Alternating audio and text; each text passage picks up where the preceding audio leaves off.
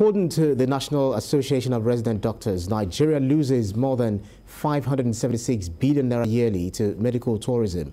Over the years, the number of Nigerians traveling to the UK, US, India, China, Saudi Arabia, Dubai, and other developed countries for the treatment of cancer, kidney or liver transplant, heart or cardiac surgeries, neurosurgeries, uh, cosmetic surgeries, routine checkup, and baby deliveries has been on the rise. For medical doctors in Nigeria, a good work environment, good pay, and adequate facilities would ensure excellent delivery of services. But when these are unavailable, many citizens tend to pay so much money for access to quality healthcare abroad. This results in a huge loss of huge foreign exchange that could have been deployed to revamp our aging hospitals and create jobs. Many people who require foreign medical treatment for critical health conditions often face hardship in raising the huge financial cost associated with such trips. So how can the country overhaul its health system? That's the big question. Joining me in the studio to discuss uh, more of this is public health physician Dr. Tui Mebawadu. Thank you so much for being on the show with me. Thank you. Morning. Thank you always. Thank you for having me. Right. No, so just a few uh, days ago, the Nigerian Medical Association you know, disclosed that Nigerians uh, spend $1 billion annually on medical tourism. So this, some say, may even be uh, a conservative figure. What implication do you think this have on, uh, does this have rather, on our health sector? Uh, huge implications because you see what has happened is that the confidence, the, the, the kind of uh, trust we should have in our health system is been, is, has been eroded mm. and it's been manifested in that medical tourism. And a lot of people exited in Nigeria to access health care. Um, if there has been a trust in the health system, we shouldn't have been saying this.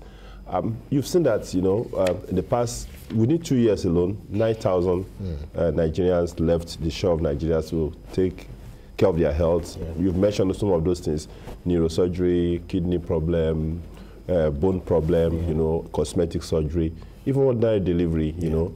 And then they spent more than $1.2 billion annually, huge money. Um, and then India is the, is the biggest beneficiary. And the chief corporate, I mean, the chief, you know, corporate in this, yeah. is actually the political leadership who chose to look at it and say that, oh, we cannot trust the health system, then we need to go abroad. And people, some people try to justify this and say that, yo, you can take healthcare anywhere. Mm. No, I can, I can give a clear example. In 1993 or thereabouts, um, Boris Yeltsin was the um, president of Russia. Yeah. Had, Boris Johnson, Bo President, uh, Boris, uh, sorry, Boris Yeltsin. Boris Yeltsin was the president okay. of Russia.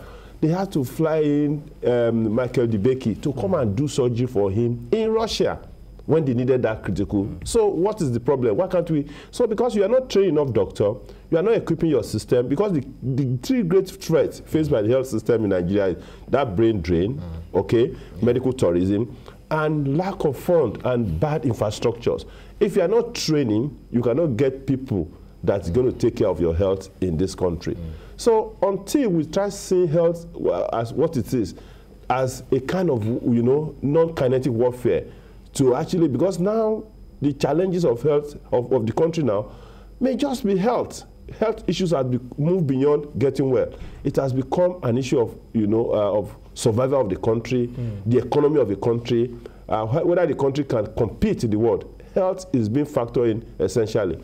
You look at Lagos as you see it, uh, when you're driving, even on the Third Mainland, you yeah. see all this smoke everywhere, mm. polluting the environment. Everything is just a big issue. It's a big mess. Mm. You were actually complaining about that you know, the moment we about to start the program. But then we've read about medical breakthroughs in the country. For instance, you know, some neurosurgeons who are uh, who successfully separated conjoined twins. I think I read about that story in Nigeria, and they successfully carried out these, uh, these surgeries. Uh, but what kind of treatments do people seek often that we do not really render back here? Well, eh, I, we've mentioned them. Essentially, you know, there are higher level of care. Yeah. There's shortage of those kind of hospital or facilities to do um, the, those high level treatment, uh, you know, in Nigeria. Human resources, um, infrastructure, mm. and then support system for that. You know, I, I commend some of those Nigerian hospitals that have been set up to perform those functions. But they are doing that at a huge cost, a huge cost, because you see, they have to power their place. They have to even sometimes fly in experts from abroad to get this done.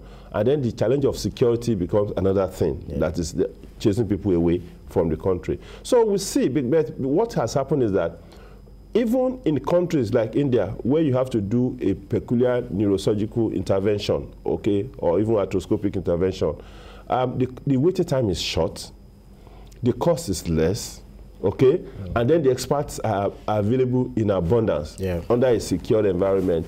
So if you really want to drive the health system, you look at it, Nigeria produces how many doctors in a year? Maximum 3,000. Yeah.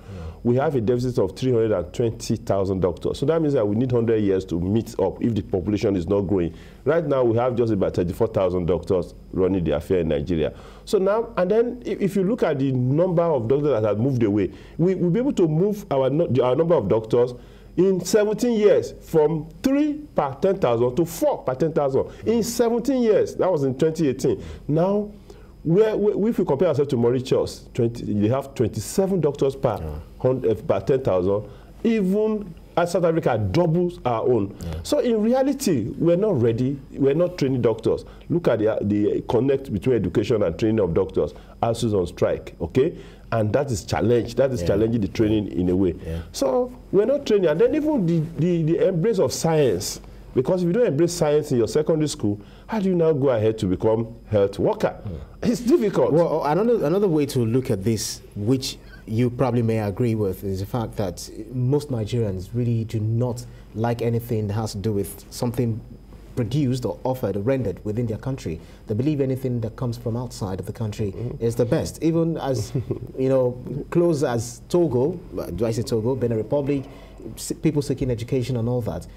Could it be that it's just our portion, you know, the, the likeness that we have, the desire to be westernized, to enjoy what is from the Western countries, not just based on some things that we lack here in the country. Do you also see it from that perspective? I, I don't see it from that perspective. Let me tell you, I, I went to school mm. um, in the 80s, okay? Um, uh, secondary school in the, in, uh, in the 70s and university in the 80s. Yeah. Those days, if you are going abroad to study, it means that you are not qualified mm. to be admitted to universities here. So we look at them not, as you're not up to yeah, standard. you're not up to standard. We look at them as second rate mm. in, in, a way. Mm. So now, how did this thing happen? We start, you know. Um, underfunding our educational system. We start underfunding the health system. We start allowing drugs to come into the health system.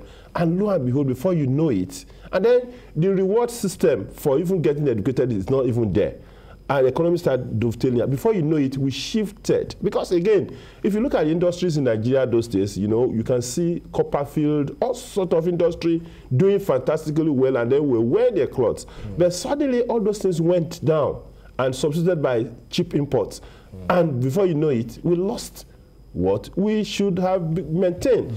So that is how it happened. It didn't just wake up and then we just started liking foreign things. No, mm. it, it, it, it cropped in gradually by our neglect mm. of what we should have done and raise the standard. It's not, it can't, even, even in some pharmaceuticals now, you see that Nigeria is actually manufacturing and sending to other countries. Yeah. So what has happened that we chose mm. to market, you know, um, foreign things is because there's a gradual deterioration. And then when you see your, a, a president who is ill going away to take treatment elsewhere, when, yes, when you see the leaders of economy yeah. going away to hire somewhere, then it gives you a kind of mentality. Mm. There's certain information you are passing across. Mm. So the right, the right thing is for us to start improving our standard. You cannot just wake up and wish and legislate, oh, go and buy made in Nigeria. Then raise your standard first. In, in the 2022 budget, 724 billion naira, that's 4.2% uh, of the uh, annual budget was allocated to health sector, healthcare. So we're a country of over 200 million people. How significant do you think? That is three. That's 3,510 naira per person. That is what is given to for everybody, all the year round. Your health the government has put 300, 3,510 naira to take care of your health. So that's, let, let me conceptualize it. Now, the primary health care center, 30,000 of them all over the nation, they got 24 billion. That means that they've given each primary health care center in Nigeria 800,000 naira to run for the whole of the year, including anything. So now, we, here we are. How do you now really change health with those kind of pittance? That, those are no money. Mm. 300, the 3,000 naira for you to run your health system, your health for the whole year. And the primary health care that should take care of 70% of the population. Because normally 70% of the population will be patronized the primary health care center. The remaining 20%, 20% should go to state and 10% at the level of federal. But you see people with malaria going right ahead to the to, to teaching hospitals, you know, or maybe federal medical center. It shouldn't be. That should have been taken care of at the level of, of the primary health care center where we have just 800,000 naira to manage one. Mm. That's amazing. I'm thinking medical tourism does not only involve the Western medicine. Can this term also be used for traditional medicines? Because we know that some people also go out of this country, say India, for instance, and some other countries to seek uh, traditional medicine.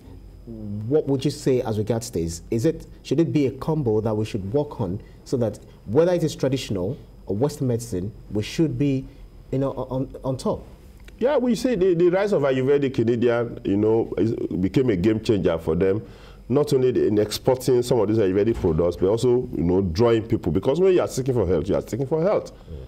When, you know, people look like a mix of you know healthcare now. Yeah. They don't just wake up and say you know it has to be this and that. Yeah. But there's always a place for those traditional things.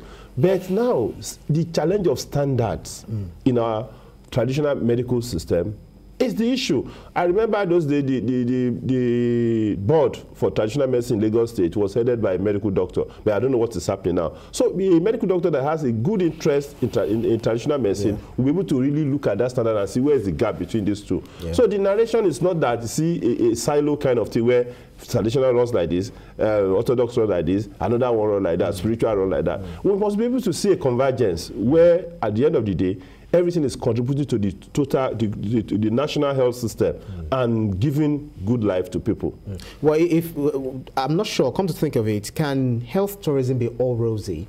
I mean, are there risks involved in Indeed. embarking on this practice? Indeed, there are risks because again, there are, there are a lot of charlatans, you know, um, taking over the health system. People just look at it because there's another aspect of it. There's an incentive, silence incentive, which is not right medically being given to people that can send clients yeah. abroad, you know, by different hospitals. We know it's not, it's not right medically. So what that means is that, first and foremost, there's a kind of exploitation of those people sent there because, you see, the more money you get from them, the more the, the percentage that comes yeah. to, the, to, the, to, the, person referring them. So that's a, then secondly, you cannot seriously, uh, you know, assert your authority. How do you if you have challenges with the medical legal issue, how do you push in the country where you are not resident?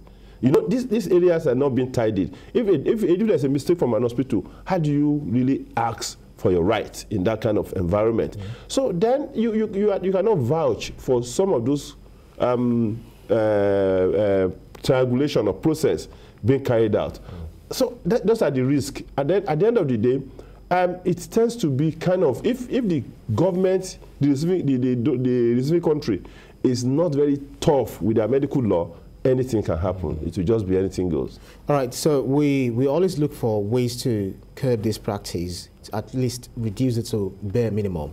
Just as calls are out to make it illegal for public office holders to send their children abroad for as long as they tarry in office, is it okay to say that if you're in office, we'll make it mandatory to be part of our law, to make it illegal for you to go out to seek for medical, you know, treatments. Is it, do you think that's, that's one of the ways to, to, to curb it? Again, health has a peculiarity. It's going to be really, difficult for, for one to say that, you know, you cannot look for health wherever you can find it. But what you should make available is this, that we, we must be able to have clear-cut centers, you know, high-level centers, you know, properly equipped, to take care of those critical areas. We're talking about nephrology, which is kidney. Mm. We're talking about neurology, brain. We're talking about cosmetic surgery. We're talking about, um, you know, um, orthopedics. These are some big areas, you know, where what, is wrong in us having those centers and training and really equipping them? In fact, what is the what you should be looking for is twinning in such a way that you see, you look at, for instance, if you conversation with Hammer Memorial or something like that, or Mount Sinai or yeah. Mayo Clinic, I said that, listen, we're twinning mm. with you. Um, can you also help um, our people in this regard, our Yeah. this hospital, Yeah. the, me- the military are there where they, they can have a Pika Rivera Center. NNPC is doing a lot of things. Let them Yeah. do something big by setting up a level four medical center in the country. So we look at that mix of where, you know, and then, the- and then what should happen is that you see the financing of health needs to be really be tidied Yeah. because what we need to do is look at it that at the level of primary health care is taken care of. But if you have to go to tertiary, government pay part of it and then insurance cover part of it. We can we can think of this mix. It's not too difficult. To, but again, what are the big elephant in the room is, is, is the level of corruption and insincerity and political um, sloganeering. Nothing in that regards, nothing better that we- we- we've seen in the country. In 2020, 2021, we've had, um, you know, NARD, JOHESU, you know, going on strike and all that. Uh, what do you think we need to do, you know, really to put on ground to ensure that strikes are averted? Um, requests are actually, whenever they make requests, this is what we want, the needs are actually met. What are the things that you would like to say, you know, on this platform at the moment? governance. As a wrap. Governance. There's what we call health governance. What has happened essentially is that we've seen quite a lot of brilliant mind from Nigeria in terms of you know interventions, health interventions. But what is missing is that the critical issue is a, is a, a different skill set. Yeah.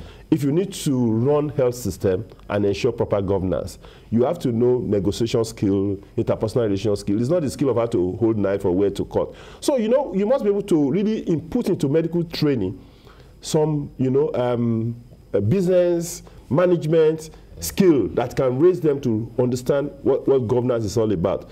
Then the, the other thing is that government must be able to move beyond all um, uh, not honoring agreement. If you cannot honor agreement, why do you sign an agreement? So you know, then one of the key issues that the interpersonal relationship between different cadres of health workers. I'm supposed to take this, you're not supposed to take this.